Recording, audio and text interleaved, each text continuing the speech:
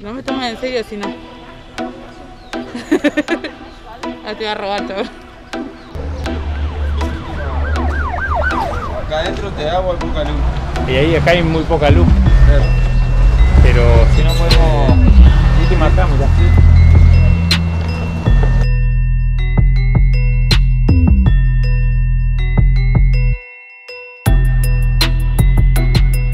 Bueno, ¿qué estamos haciendo acá?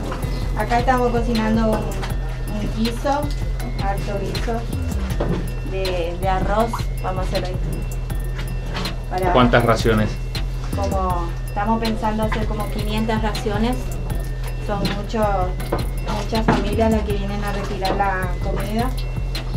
eh, que son de la organización y son vecinos también acá del barrio que se acercan todos los días a, a pedir raciones de comida. ¿Esto es de lunes a viernes?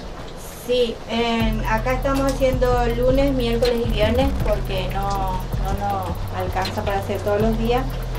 Eh, estamos pidiendo para, para que nos den más, más eh, para hacer más raciones y eh, el gobierno no, no nos da no nos da todavía respuesta y también estamos con lo de merendero igual El merendero hacemos todos los días eh, de lunes a, a viernes igual hay montones de chicos que vienen a retirar la merienda también Está- eh, pero el merendero es de lunes a viernes. sí merendero de lunes a viernes y comedor tenemos el lunes miércoles y viernes por el momento Eh, nos hemos eh, juntado para hacer esta alto guiso como reclamo.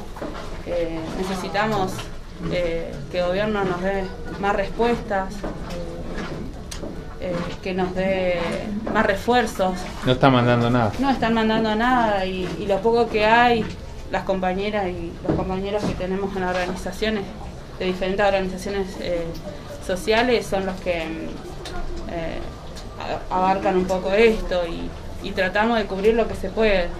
Hay, nosotros con el merendero ya no nos alcanza la leche, ya no nos alcanza el pan. El viernes cerramos el merendero con 60 niños, 60 familias y ahora tenemos eh, 160. El, o sea, apenas lo abriste ya tenía El lunes más. ya teníamos 160 familias.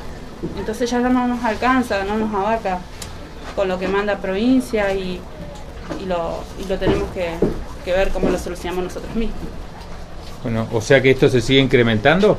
Cada vez hay más gente que se está acercando a los comedores. Sí, cada vez mucho más.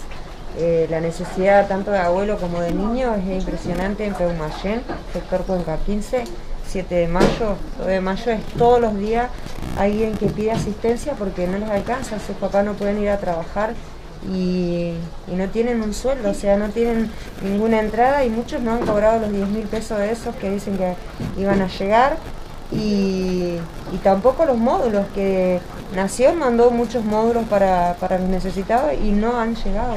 Y la provincia, el gobernador no se ha hecho cargo de, de las organizaciones en ayudar y entregar todo lo que necesitan como para abastecer toda la semana, porque no es que coman tres veces a la semana las familias. Claro, tres veces a la semana y el fin de semana es que se arreglen. Claro, o sea, martes, jueves y sábado y domingo no tienen comida y si no tienen entrada de, de ningún sueldo, ¿cómo hace la gente?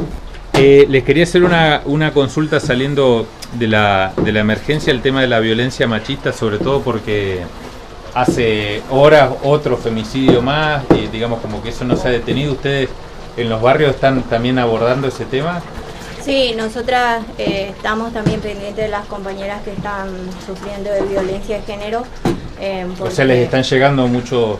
Sí, porque como eh, ahora con la cuarentena que lo- las parejas no trabajan, están eh, con la crisis y todo eso, entonces no eh, hay mucha violencia. Entonces, de esa forma nosotras también nos acercamos a las compañeras, les preguntamos de cómo están, todo eso y tratamos de ayudarles.